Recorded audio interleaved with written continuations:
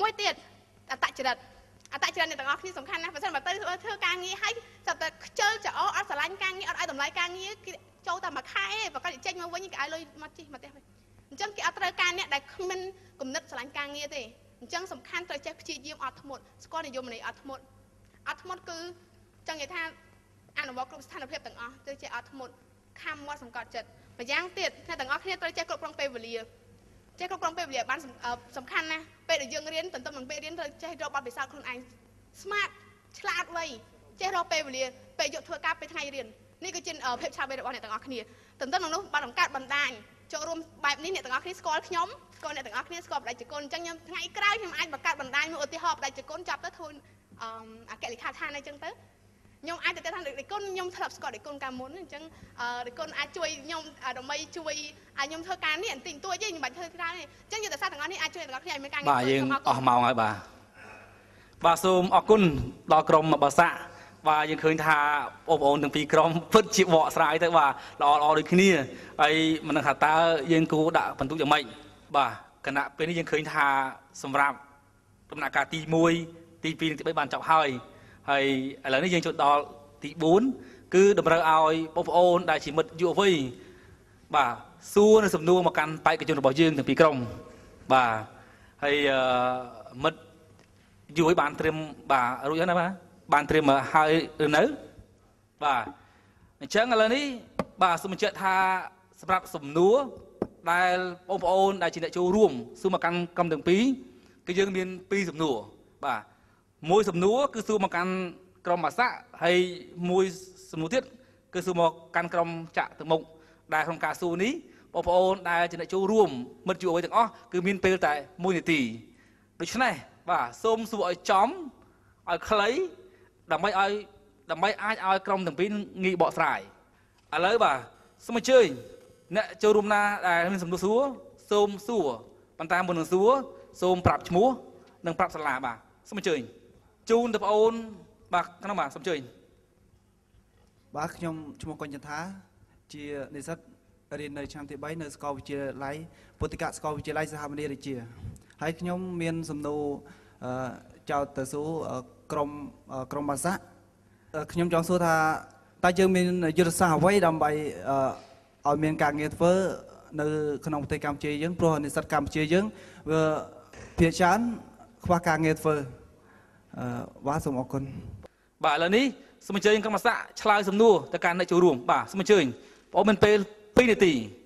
បាទសូមអរគុណថ្វាយបង្គំបដិជគុណថ្មីម្ដងទៀតហើយស្វាគមន៍មិត្តយុវវ័យដែលចូលរួមនៅកន្លែងនេះឆ្លើយតបទៅនឹងសំណួរសួរថាតើយើងមានយុទ្ធសាស្ត្រអ្វីដើម្បីរកការងារធ្វើដោយដែលព្រះអង្គគ្រប់ព្រះអង្គហើយនិងយុវជនបានដឹងស្រាប់ យុវជនដែលបញ្ចប់ពីមហាវិទ្យាល័យគឺមានចំនួន43000នាក់ប៉ុន្តែក្នុងចំណោមនេះមានតែ15000នាក់ទៅ20000នាក់ប៉ុណ្ណោះដែលអាចរកការងារធ្វើបានមានន័យថាយុវជន50%ទៀតមិនទាន់មានការងារធ្វើលើសពីនោះទៅទៀតប្រសិនបើដល់ឆ្នាំ2011កំណើនរបស់ពលកម្មរហូតទៅដល់10លានអ្នកនោះការប្រឈមមកការរកការងារធ្វើកាន់តែពិបាកដូចនោះហើយដើម្បីជាយុទ្ធសាស្ត្ររកការងារធ្វើបើយើងយោងទៅតាមសិភៅ Camfeba គឺសភៅមួយនេះគេបានសម្ភាសទៅដល់ប្រធានក្រុមហ៊ុនទាំងតូចទាំងធំប្រហែលជា4000ជាងនៅក្នុងស្រុកខ្មែរគេបានលើកឡើងថា តើឲ្យគេយកយុវជនទៅធ្វើការយ៉ាងម៉េចបើអត់ទាន់ចេះ CV និងអត់អត់ចេះសម្ភាសការងារផងលើសពីនោះទៅទៀតពួកគាត់អត់ទាន់មានជំនាញវិជ្ជាជីវៈបន្ថែមនឹងការប្រើប្រាស់កុំព្យូទ័រហើយនឹងភាសាអង់គ្លេសអញ្ចឹងបាននេះគឺជាចំណុចសំខាន់បងប្អូនយុវជនទាំងអស់គ្នាត្រូវតែរៀនឲ្យចេះពីរបៀបសរសេរ CV និងសម្ភាសការងារហើយលើសពីនោះទៅទៀតចែករំលែកពេលវេលាដែលនៅសាលានឹងទៅរៀនជំនាញវិជ្ជាជីវៈបន្ថែមតាក់ទងនឹងដូចជាផ្នែករដ្ឋបាលនិងជាដើមដើម្បីឲ្យបងប្អូនងាយស្រួលក្នុងការរកការងារធ្វើបាទសូមអរគុណ ចាខ្ញុំសូមបន្ថែមថាយោងតាមកម្ពុជា Daily ដែលចុះថ្ងៃទី22បានបញ្ជាក់ថានយោជកភាគច្រើនអត់បាននយោចិត្តច្រើនទេដោយសារតែអ្នកធ្វើការហ្នឹងតែធ្វើការហ្នឹងអត់អត់មានចំណេះដឹងច្បាស់គ្មានបទពិសោធន៍ហើយគ្មាន critical thinking មានន័យថាគ្មានការវិភាគអត់ឆ្លាតសោះអញ្ចឹងពេលណាមានអីមកអញ្ចឹងយុវជនត្រូវមិនថាអ្នកទាំងអស់គ្នាត្រូវប្រើភាពឆ្លាតវៃដែលមានពីធម្មជាតិ មានទេពកោសលហើយឆ្នៃប្រឌិតទាំងអស់នោះទៅជាវាថាព្យាយាមរកបទពិសោធន៍អញ្ចឹងទៅក្រុមហ៊ុននីមួយៗរៀនពីក្រុមហ៊ុននោះ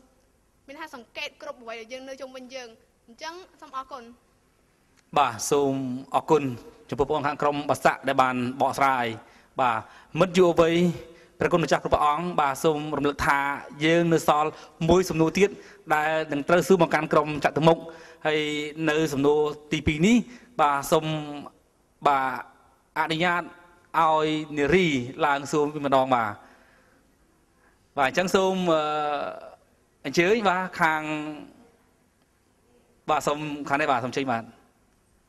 បងអូនមានពេល1នាទីបាទសួរឲ្យចំឲ្យខ្លីបាទសូមជើញ ចានាងខ្ញុំមកពីអឺឈ្មោះឈ្មោះសម្បត្តិរតនាមកពីសាកលវិទ្យាល័យភូមិន្ទភ្នំពេញហើយនាងខ្ញុំមានសំណួរមួយចោទសួរទៅអឺខាងក្រមចតុមុខថាបងខាងក្រមចតុមុខគាត់អឺបាននិយាយថាអឺមនុស្សត្រូវចេះបច្ចេកវិទ្យាខាងកុំព្យូទ័រដើម្បីងាយស្រួលរកការងារធ្វើចុះប្រសិនបើយុវជនយើងមិនមានបច្ចេកវិទ្យាខាងកុំព្យូទ័រទេតើអាចរកការងារធ្វើបានឬទេចាសសូមអរគុណ បាទសូមអរគុណចំពោះបងអូនស្រីដែលបានសួរសំណួរមកខាងក្រុមចតុមុខបាទយ៉ាងល្អបាទអរគុណបងអូនបាទឥឡូវនេះបាទបងអូននៅខាងចតុមុខបងអូនមានពេល2នាទីក្នុងការឆ្លើយនៅសំណួរនេះបាទសូមអញ្ជើញបាទ ចាខ្ញុំសូមអរគុណបងអូនស្រីផងដែរចំពោះសំណួរដ៏ល្អនេះអ្វីដែលនេះខ្ញុំលើកឡើងមកថាបច្ចេកវិទ្យាវាដើរតួនាទីយ៉ាងសំខាន់មិនមែនមានថាដូចថាបងអូនចេះបច្ចេកវិទ្យាតែមួយមុខបងអូនអាចធ្វើការបានទេពួកខ្ញុំចង់លើកថាបងអូនទៅតែដើរអត់ទាន់សកលភាពវិជ្ជាកម្មឧទាហរណ៍ថាបងអូនចង់ធ្វើការនៅកន្លែងអង្គភាពណាកុំថាឡើយធ្វើការសូម្បីតែបងអូនរៀននៅវិទ្យាល័យបងអូនអត់សកលវិទ្យាល័យបងអូនអត់ចេះវាយកុំព្យូទ័រឲ្យប្រើកុំព្យូទ័រ ហ្នឹងតែបងអូនអាចធ្វើការទៅរួចអីគឺវាទៅរួចទេមកចំណុចបច្ចេកវិទ្យាដែលនាងខ្ញុំបានលើកឡើងនេះគឺចង់សម្ដៅលើដូចជា Word Excel អា basic របស់វាហ្នឹងយើងត្រូវចេះដែរហើយពិសេសមកទៀតសម្រាប់ជំនាញមួយចំនួនដូចជាកណន័យឬក៏សេដ្ឋកិច្ចយើងគេត្រូវការចេះ SPSS ឬក៏អឺ page 3អីថែមទៀតអញ្ចឹងអាឧទាហរណ៍ថាយើងមានអស់ឲ្យប័ណ្ណពិសោធន៍មានចំណេះដឹងមានមានសញ្ញាបត្រខ្ពស់ហើយក៏ប៉ុន្តែចៃដន្យនេះអាតកតទៅនឹង page 3ឬក៏ Photoshop អីយើងអត់ចេះអញ្ចឹងមានមានន័យថាយើងនោះដូចជាមានចាញ់ភាពជាងគេបាត់ហើយតែបងមិនចង់សម្ដៅថាដូចតែយើងចេះបច្ចេកវិទ្យាកាត់តចេះបច្ចេកវិទ្យាដូចពួកខាងវិស្វករខាងកុំព្យូទ័រនោះទេគឺយើងក៏ត្រូវចេះអា អាលក្ខណៈគេហៅថា basic មូលដ្ឋានគ្រឹះរបស់កុំព្យូទ័រផងដែរគឺអាចដូចជាការវាយ Word Excel ជាដើមសូមអរគុណអឺនាងខ្ញុំក៏សូមបន្ថែមទៀតថាមិនមែនបានន័យថាយើងអត់ចេះកុំព្យូទ័រយើងអត់មានការងារធ្វើទេវាជាការពិតយើងអត់ចេះកុំព្យូទ័រក៏យើងអាចធ្វើការបានដែរប៉ុន្តែត្រូវយើងត្រូវជ្រើសរើសការងារណាដែលមិនពាក់ព័ន្ធជាមួយនឹងប្រព័ន្ធកុំព្យូទ័រម្យ៉ាងវិញទៀតបើសិនបើយើងចេះកុំព្យូទ័រយើងអាចរកការងារបានយ៉ាងល្អធ្វើហើយចំពោះប្រាក់ខែក៏កាន់តែខ្ពស់ទៀតបើសិនបើយើងមានបច្ចេកវិទ្យាកុំព្យូទ័របាទសូមបន្ថែមបន្តិចចំពោះក្រុមខ្ញុំអឺ ចំពោះសំណួរនេះការពិតណាអឺកុំព្យូទ័រ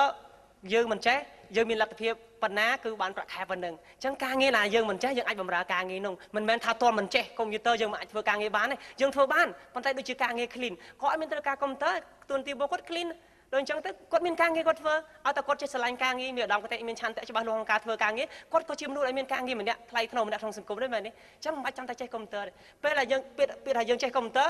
យើងមានប្រាក់ខែខ្ពស់ ការងារយើងមានកន្លែងខាងកុំព្យូទ័រអញ្ចឹងទៅអានេះជាចំណុចមួយដែលដែលយើងត្រូវចេះបាទបាទយើងអស់ម៉ោងហើយបាទសូមអរគុណចំពោះបងអូនខាងក្រុមចតុមុខដែលបានបកស្រាយទៅកាន់សំណួរនេះហើយមិនដែរបងអូននៅដែលជាម្ចាស់សំណួរអាចប៉ុណ្ណឹងអាចយកបានទេប៉ុណ្ណឹងពេញចិត្តនៅបាទអរគុណច្រើន